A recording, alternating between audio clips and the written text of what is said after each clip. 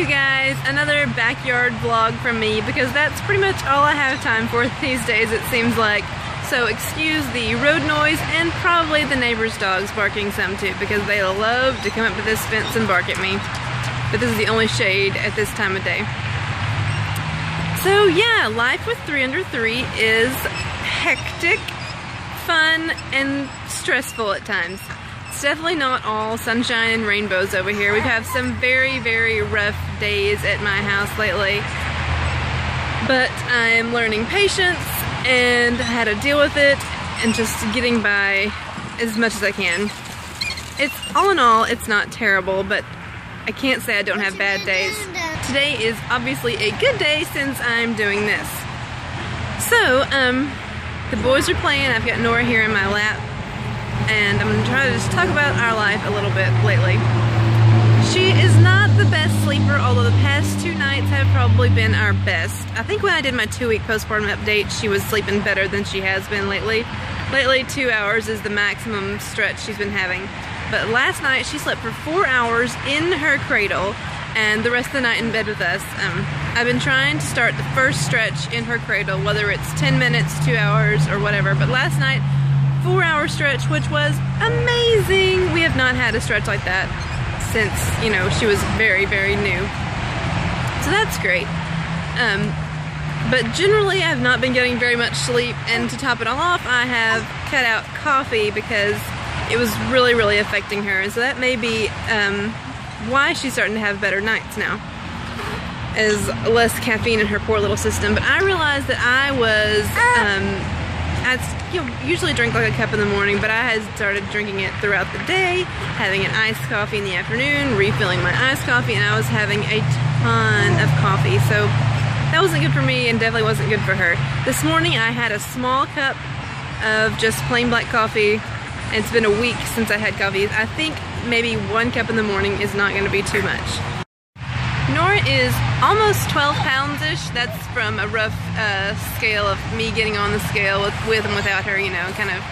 So not, nothing super accurate, but she's close to 12 pounds. She's definitely a little chunker. You should see her thighs, oh my goodness, and her cheeks and chins for days. Uh, she nurses a ton, and uh, as far as me and my weight loss goes, I am down I'll just share numbers because I don't really care, uh, and then I want to look back on this for myself so I can remember. I am at about 152, and I think I was at 175 when she was born, and um, I was not down to my pre-pregnancy weight from Wyatt when I she was conceived because um, they're they're only uh, 16 months apart, so I wasn't that far postpartum yet. I still had a few weight pounds to go. My goal weight is 135 Hey, buddy. My goal weight is 135, so I'm at 152 right now, and um, I've set very easy goals for myself. I feel like my goal is to get below 150 by Christmas. So at this point, it's only two pounds, and I feel like that should be pretty easy. Um, I weighed, I was a little higher than that when I made that goal, but I lost two pounds pretty quickly. Um, so below 150 by Christmas, and then after that, I want to hit my goal weight by the boy's birthday, which is May 14th. So that is by that point, it should be less than a pound a week, and I feel like that's really, really doable. Um, I just don't want to set goals for myself to lose weight around the holidays because I'm not one to deny myself holiday treats. It's one of my favorite times of the year. I love to bake, I love to make sweets, and I plan on eating them and enjoying them just uh, making better choices when I can. I knew that postpartum I would not be able to fully do all my house chores the way I had been before. That is probably what I'm struggling with the most is just kind of accepting the things I can't get to. Like dishes, there's always dirty dishes and there's always dirty clothes. I can't seem to get them all done. Um, I made the analogy to my mother about the laundry is like fighting a wildfire you you know you fight and fight and you get some done you get some put out you know and then it pops up everywhere else and it crops up all over the house. And then you get that down to just wear it a little bit and you know so anyways the laundry is definitely a um, it's driving me insane that I can't get my laundry done I'll be honest. Um, nursing is still going really well for us. I, like I said, I cut out coffee, and just I've now I've decided to also try to limit my dairy. I um, she's a little congested, and I've never had a problem with babies and dairy, but I think I've just been having too much. So I'm gonna try to cut it out for a few days and then limit my intake from then. I had some ice cream last night and a glass of milk yesterday afternoon with a brownie, so you know that's not the best for her. Uh, she it has just awful cradle cap. I put coconut oil on it and kind of lightly, lightly scrub her head when she give her a bath, but it keeps coming back, so we're gonna keep dealing with that. Her skin was terrible there for a while. It's starting to clear up now, but um, we kind of sweat on each other at nap time today, so she's broken out a little bit again. But I realized in my two week postpartum video, I didn't even show this sweet girl. So if you follow me on Instagram, you've seen plenty of Nora. But if not, here she is outside watching her brothers play. She's starting to coo and smile a little bit.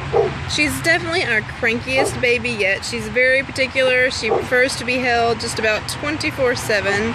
Um, which generally I don't mind until I'm trying to get something done.